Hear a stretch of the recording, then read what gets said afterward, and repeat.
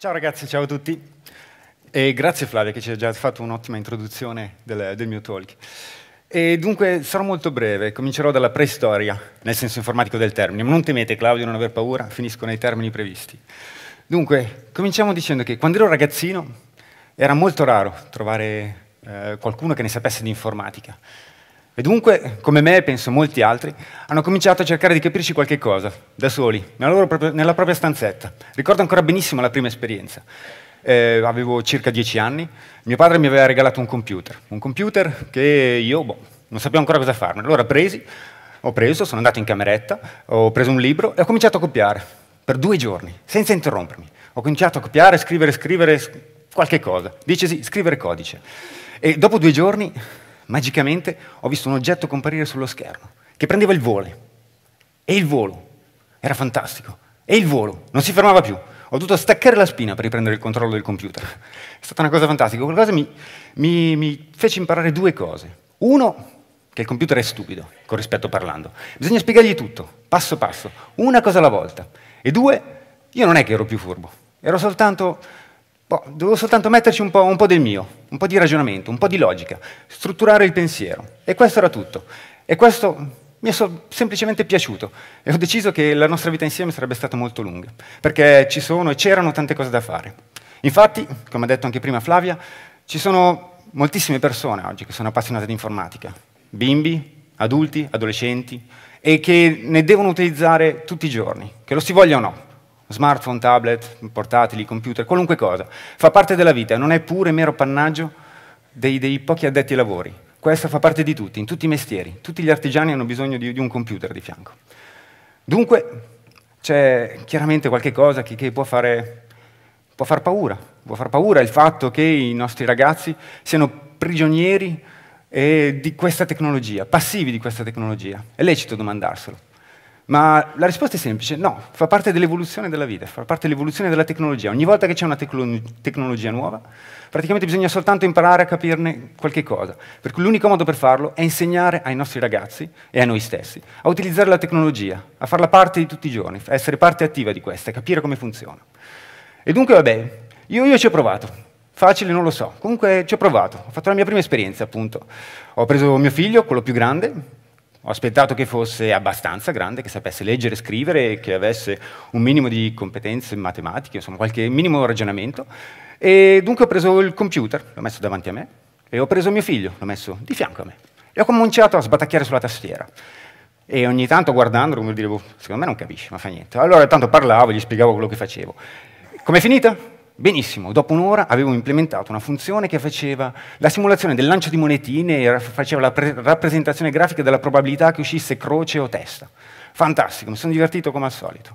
Mio figlio? Ah, benissimo anche lui, dormiva, come un angioletto sull'angolo del tavolo. Beh, a quel punto vabbè, mi sono detto, peccato, mio figlio, proprio mio figlio non gli piace l'informatica.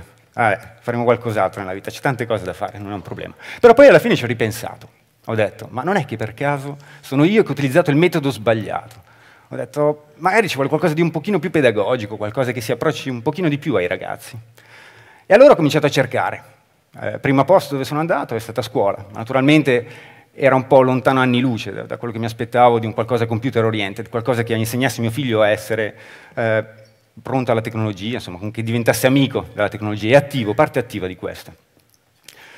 Dunque, Dopo, dopo, di questo continuai a cercare. Era il 2012, non molto tempo fa, e a quell'epoca abitavamo in Irlanda. E venni a conoscenza di un, di, di, di un movimento, okay? attualmente una fondazione, no profit, che si chiama Coder Dojo, che forniva, che dava, faceva corsi gratuiti ai ragazzi di informatica, di programmazione. Fantastico, non ho esitato un attimo, ho preso i miei figli, più un po' dei suoi amici, dei loro amici, e siamo andati, ho cominciato a parteciparvi. E all'inizio c'era qualcosa di strano, un metodo che, che secondo me era un pochino boh, anarchico, diciamo. Non c'era un sapientone davanti alla lavagna a dettare nozioni e a dire ragazzi ora schiaccia il tasto secondo in basso a sinistra e quello in alto a destra. No, non funzionava così. Funzionava in un modo diverso.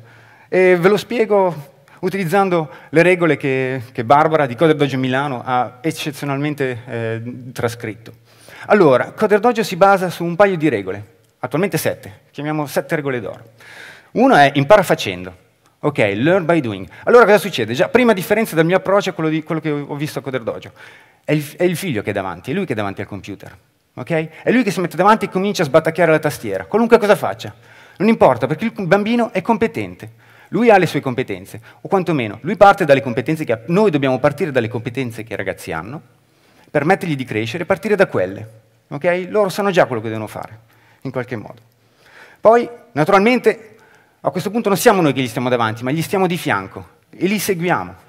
Okay? Gli insegnanti, i cosiddetti mentori, non sono davanti, gli sono di fianco e girano intorno. E si cerca anche di incoraggiare al limite i ragazzi, quelli di fianco, quelli magari più anziani, quelli che sono già venuti da diverse volte, a spiegargli come funzionano le cose.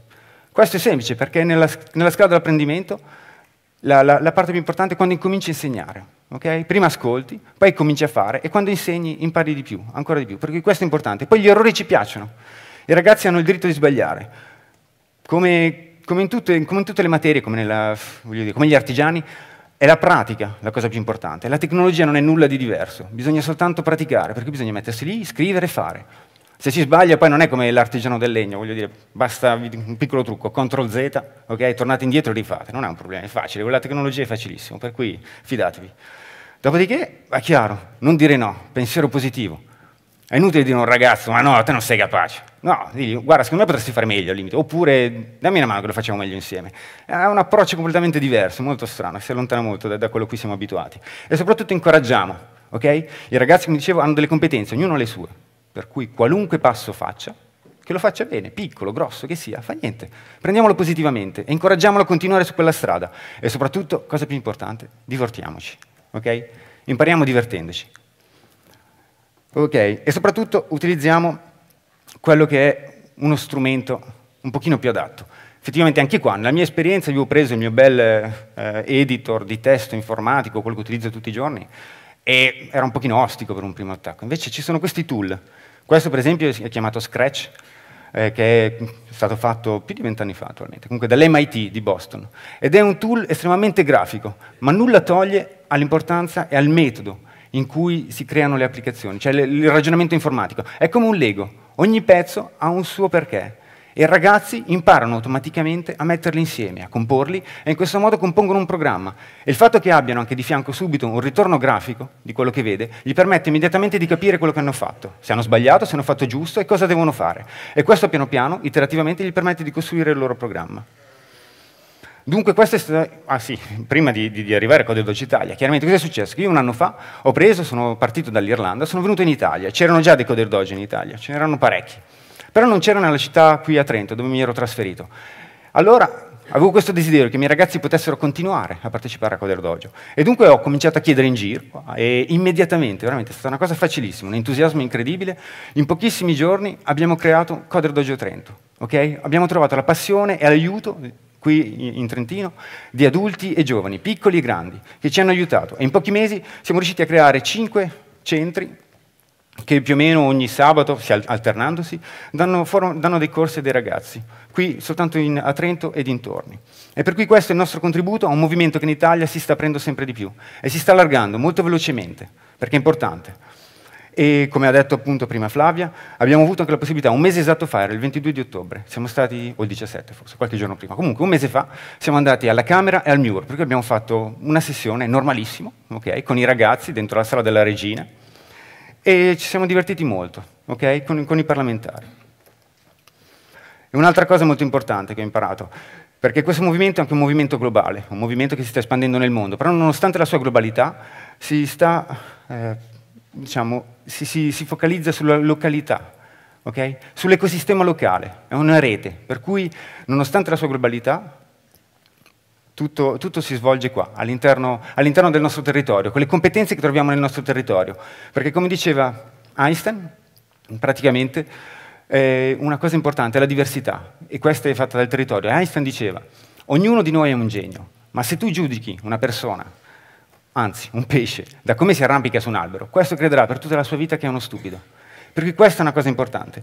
Se vogliamo che i nostri figli, oggi, imparino a utilizzare la tecnologia in maniera attiva, e come dice Carmelo di Coder Dojo Bologna, Coder Dojo trasforma i ragazzi da utilizzatori passivi della tecnologia a supereroi, non dobbiamo far altro che dargli i superpoteri, io dico. E i superpoteri vengono dalla società nella quale viviamo, nell'ecosistema. Per cui dobbiamo fare in modo che poter preparare i nostri ragazzi per quando entreranno nel mondo del lavoro, okay, che abbiano le competenze giuste. Le competenze giuste oggi ce le hanno soltanto le persone che utilizzano la tecnologia per davvero tutti i giorni, per lavorare, per vivere, per passione. Perché la scuola non possiamo aspettare la scuola che avanzi in, questi, in, questi, in, questo, in questo tema. Dunque dobbiamo utilizzare tutte le strutture e cercare di creare sempre di più nuovi spazi, tipo Hackerspace, Impact Hub, Fab Lab, Science Fair, ma anche la famiglia stessa, i centri di ricerca e le aziende locali che devono contribuire a condividere e collaborare con le conoscenze. Dunque, concludo, concludo qui. Concludo dicendo che naturalmente è importante imparare ad imparare, divertendosi, possibilmente. Perché è questo che ho imparato, che è bellissimo poter... Non si crea niente dal nulla, ok? Non si crea dell'entusiasmo senza, senza, dei ragazzi che, si, che imparano divertendosi. È per cui che i ragazzi pratica, ci promettono una foresta di creatività. Dunque, vi aspettiamo tutti al prossimo Coder Dojo, perché no, in qualunque Italia, piccoli e grandi che siate. Grazie a tutti.